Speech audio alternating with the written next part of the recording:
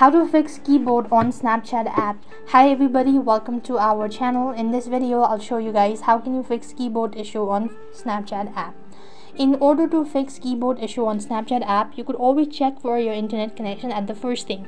So for that you want to go to settings or you could actually swipe up and check whether you're connected to stable internet or not. If not you could go ahead and make sure to dis disconnect the wi-fi or a mobile data that you're connected to. And once again restart it or maybe reconnect it that could be able to fix it as well.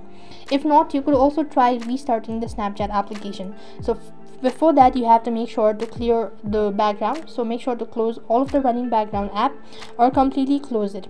After which you also want to go ahead and make sure to clear cache. So long press the application or the snapchat and go to i button. As you go to the i button then you want to go to the storage and cache. Here click on clear cache and you should be able to fix it. After which you could go ahead and log in and see whether the issue has been fixed or not. If not you could also try updating it. If you haven't updated the application in a long time then it could be the reason.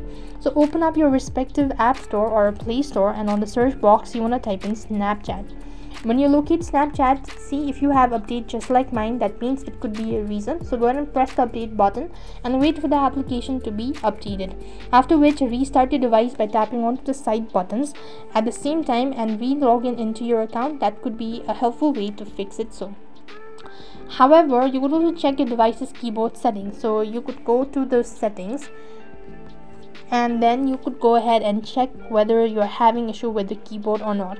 So you could actually go to apps and notification and click on see all apps and go and locate default keyboard. So this is my default. So i'm i have to go and make sure to click on storage and make sure to click on clear cache you could also go to clear storage. If this seems to be helpful then you could do it so and log in and see whether the issue has been fixed or not.